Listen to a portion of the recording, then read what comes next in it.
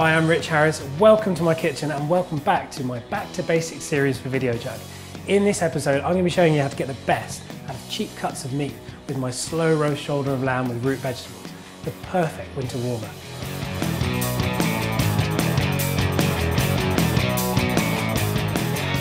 Now this is a really simple dish, full of flavour, and one of those things that's going to really warm you up on a winter's day. So just finely slice these onions, and these are going to go with the rest of the veg to form the base for the lamb. And the idea is that the lamb sits on top and slowly cooks. All those beautiful juices from the lamb fall down and kind of baste the vegetables as they cook. Cheaper cuts of meat, like this shoulder of lamb, really lend themselves well to, to wintry cooking. And this dish is perfect for this time of year because it's quite easy to prepare and then you just chuck it in the oven for a good sort of three, four hours, let it do its own thing so if you're out for a nice sort of wintry walk, it's perfect. You come back, the house smells great, absolutely delicious. So to the onions, I need to add the remaining veg. So I've got some lovely waxy potatoes. It's really important to use waxy potatoes when you're slow cooking because they hold their shape a lot better. And I'm going to use a mandolin. It's a great bit of kitchen kit. Not very expensive, save you loads of time and effort. And as you'll see, can make your slicing really, really accurate. Just take a potato and run it down against the blade. Just be very, very careful with your fingers. You can get a nasty cut off one of these. I'm not taking the skin off the potato because there's loads of flavour in there. And as it slow cooks, it's going to get really soft anyway. So they just go straight in with the onions. And just keep going until you've done all the potatoes. So next up is the carrots. And these add a really great sweetness to the dish. Again, on the mandolin, just run it through. The lovely thing about this dish is not only is it one pot cooking, but you can use any kind of root vegetables really. So things like parsnips work really well, but these earthy flavours of celeriac, potato and carrot are really, really good with the lamb. But for a full list of ingredients, just check out the description box. Everything all together in one bowl. And then it's time for the celeriac. Uh, this is a great root vegetable. It's really cheap, really versatile, and it's got a lovely kind of earthy flavour, which goes really, really well with cheaper cuts of meat and just lends itself to slow cooking brilliantly.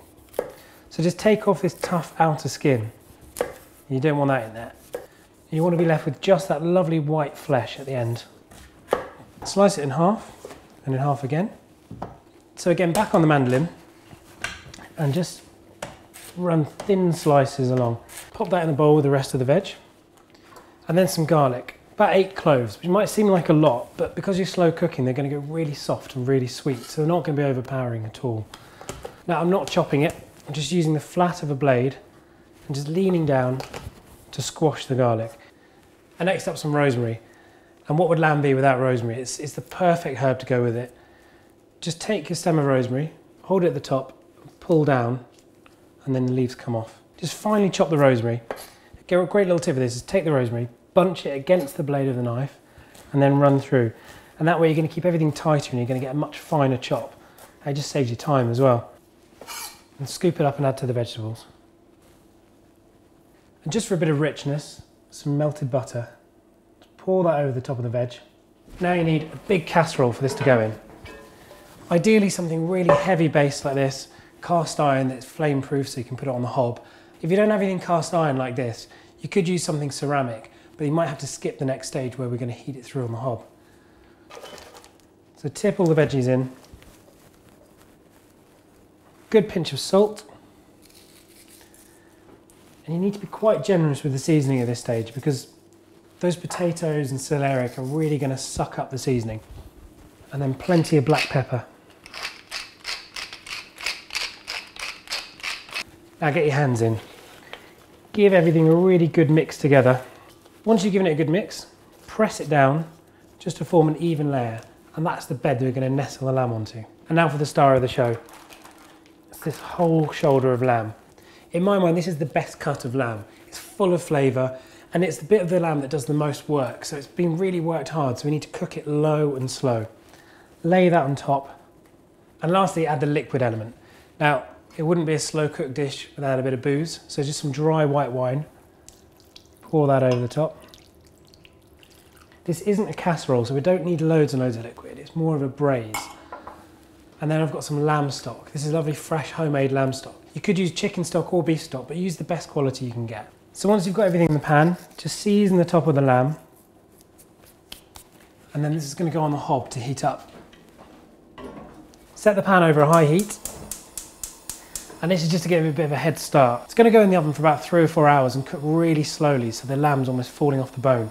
But you want to give it a bit of a head start on the hob. So just bring it up to a simmer and I'm to pop the lid on, it'll go in the oven. Now, if this has got you in the mood for refreshing your kitchen skills, click the subscribe button where you'll find plenty more of my back to basics recipes.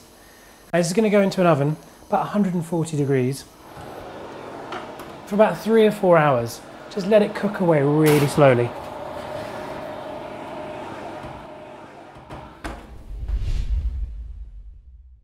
The lamb's had about four hours in the oven now. The kitchen smells incredible. So for the last half an hour of cooking, I just took the lid off. And what that's done is helped to reduce all that liquid, make it really rich and condensed, and just crisp up the top of the lamb. So yeah, it just pulls apart with tongs. Beautiful. And then dig out some of those vegetables. Look at that, all these lovely layers. We've got the potato, see bits of carrot and celeriac, and all that garlic and rosemary. And because of all those juices in the lamb and the stock and the wine, there's a gravy already made. Pour that over the top. And if there's any way of dealing with a cheaper cut of meat, this is it. Cook it low, cook it slow, and you're gonna have so much flavor at the end. So there it is, my slow roast lamb shoulder with root vegetables. Now to have a little taste.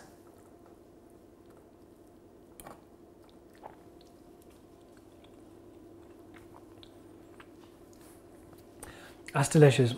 Why not click the subscribe button where you can find more of my great recipes and another brilliant slow cooked dish, my ox cheek ragu with herb gnocchi.